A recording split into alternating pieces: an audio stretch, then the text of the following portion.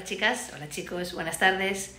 Vamos a una nueva receta. Una receta muy fácil, mmm, económica, eh, lleva algo de verdura, lleva algo de marisco. Eh, ahora de cara a las navidades puede estar muy bien, así que si os animáis, venga, vamos a ello.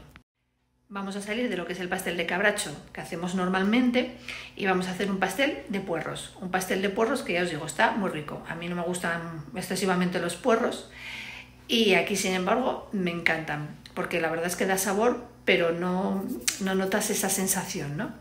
Entonces, pues bueno, a mí me parece que es una receta muy rica y ya os digo, muy facilita de hacer.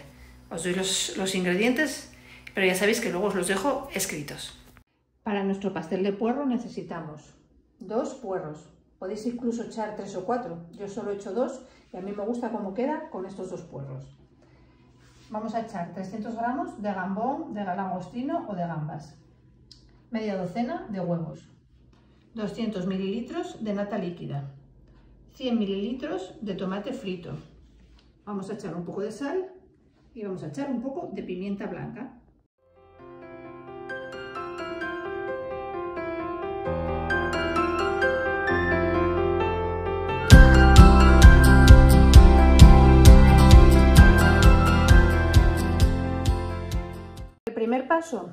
Pues vamos a quitar esto de aquí del puerro. La parte verde, aunque mucha gente no la tira porque con esto luego puede hacer pues para unos purés o para preparar sopa tal, bueno, quitando las partes feas, pero bueno, la vamos a cortar por aquí y vamos a limpiarlos muy muy bien debajo del agua porque los puerros suelen traer bastante tierra. Entonces vamos a ello. Ya les hemos quitado los puerros, la parte verde y el plumero de delante. Ahora lo que vamos a hacer va a ser cortarlos para quitarle la tierra que puedan tener dentro. Y mira, se hace de esta manera. Se corta en cruz. ¿Veis? Metéis el cuchillo. Así. Con cuidadín, no cortaros. Y así. Y entonces, una vez que lo tengáis cortado, lo abrís un poco, mirad, ¿veis cómo está? Y lo metéis todo debajo del agua y lo laváis muy bien, lo aclaréis muy bien debajo del agua. Una vez que tenemos el puerro bien lavado, entonces lo que vamos a hacer es trocearlo en rodajas, pues como de un centímetro más o menos, bueno, finito. Ya lo tenemos bien troceado. Vosotros si solo queréis podéis echar solo la parte blanca y, no echar la verde.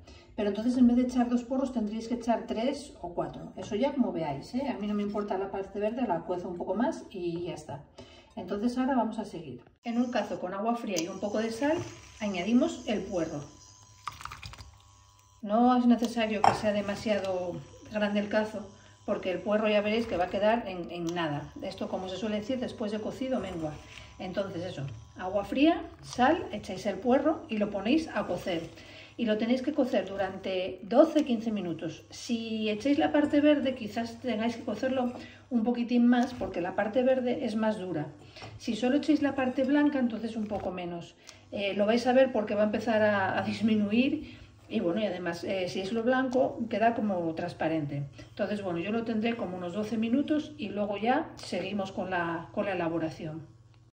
Pues ya tenemos nuestros puerros totalmente cocidos. Si os fijáis, podéis ver, ¿veis? Que están como transparentes. ¿Veis? Entonces ahora lo que vamos a hacer es cularlos. Hay que cularlos muy bien, que no quede nada de agua, porque si no la receta no sale igual, pues claro, saldría aguada. Entonces bueno, pues ponemos un recipiente con un colador encima y luego lo que tenemos que hacer es apretar para que salga todo el agua. Pero bueno, quitándolo, que yo lo, tengo, lo estoy haciendo mal, porque tengo el agua debajo, entonces no me sirve de nada. ¿Veis? Haciendo esto. Apretándolo bien para que escurra todo el agua.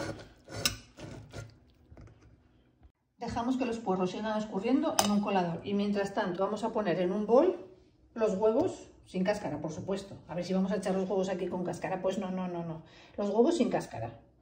Ahora los vamos a batir muy bien. Mirad, este huevo de aquí parece que tiene otro aparte, ¿veis? Pues nada, vamos a, vamos a batir los huevos bien. Y luego ya seguimos. Una vez que tenemos los huevos bien batidos, pues le añadimos la nata, que ahora los pongo bien en el vaso, y el tomate. Y esto también tenemos que batirlo bien. A ver, esto no va a quedar aquí, le voy a pasar la lengua a igual a esto que a esto, porque hay que aprovecharlo todo. Y entonces nada, pues después de que lo escurra bien los vasos, esto hay que batirlo todo junto. Muy bien, batido. Ya tengo los vasos bien limpitos y la mezcla pues batida, ¿veis? Entonces ahora a esto lo que hay que añadirle es la sal y la pimienta. Un chorrín de... uy, un chorrín.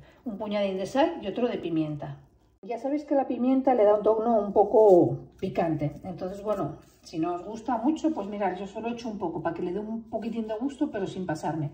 Porque a mí sí que es verdad que la pimienta, el sabor de la pimienta blanca no es de los que más, de las especias que más me gusta. Entonces, bueno, un poquitín y se revuelve todo otra vez para mezclar el sal y la pimienta. Pues ahora toca añadir el puerro.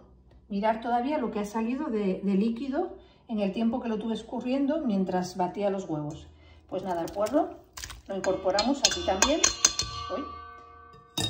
Y lo mezclamos, pues igual, con el huevo, el tomate, la, nata, la sal y la pimienta.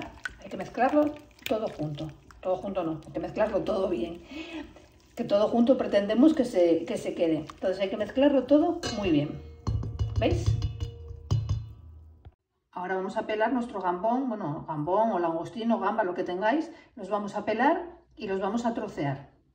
Una vez peladas y troceadas las gambas, pues las añadimos aquí, a nuestra mezcla. Y los revolvemos para que se junte todo bien. En un molde de estos de plum cake, o como se llame, este es de Ikea que son 2 litros, pues yo lo que voy a hacer es echarle un poco de aceite, mm, o sea, por todas las partes, abajo y en los laterales, y también un poco de harina quitándole el sobrante.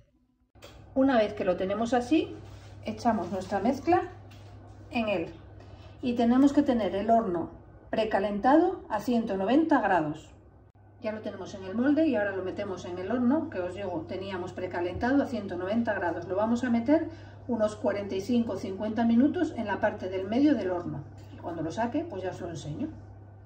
Pues ha estado 45 minutos en el horno y este es el aspecto que tiene ya le he pasado una aguja, ahí está el agujerito, para ver si estaba hecho y está totalmente hecho. Así que ahora vamos a esperar a que se enfríe y lo vamos a desmoldar. Pues ya está, la receta terminada. Espero que os haya gustado. A ver, esta receta lleva puerros y hay mucha gente que los puerros no le gustan la consistencia, el encontrárselos como en la tortilla con cebolla, ¿no? Que no les gusta encontrarse el puerro.